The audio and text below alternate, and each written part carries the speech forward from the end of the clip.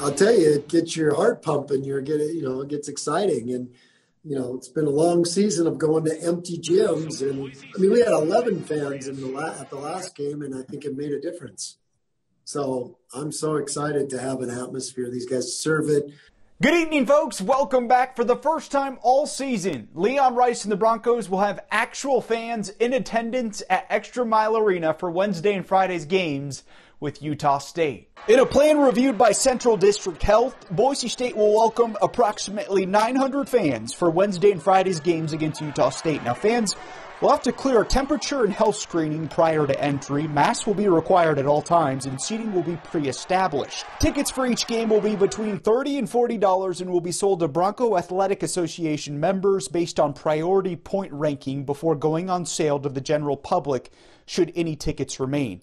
About 200 tickets will be set aside for students, and Coach Rice believes it'll be a safe environment for everyone in attendance this week. First of all, I trust my administration. I mean, this was not in my hands, and um, they're they're not going to do anything that puts anybody in jeopardy. I know we have a huge arena. We can spread people out. We can, you know, people are going to wear masks and and like I said, there's there there can be so much space between everybody, and let's all just be safe and enjoy a, a good night. Now, as for the actual game itself, Utah State is led by seven foot center Neemias Queta. He leads the Aggies in points, rebounding, steals, and blocks per game. His three blocks per game is third best in the entire country. Queta's presence certainly makes it feel like someone is, well, looking over your shoulder at all times. Leon, I say Neemias Queta. What first comes to mind?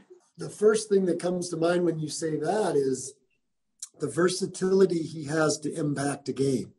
I think if you would look at him, you'd think, well, it's just, you know, scoring on the block and it's just shot blocking. And he's doing so many other things for that team. And, you know, he's 7 1. I mean, that kid is, is big and mobile and, and makes so many, so many plays uh, that you maybe wouldn't see out of a guy with his size. When you're going up against a guy like that with his blocking ability, What's the biggest key to success offensively in the paint? Yeah, that's a hard one. I mean, he patrols that thing really well and protects the rim.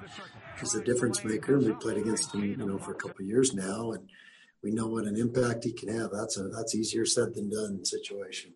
Tip off Wednesday set for seven o'clock broadcast on CBS Sportsnet. All right, that's going to do it for sports. In the meantime, be well, stay safe, wash your hands, spread some love and some joy.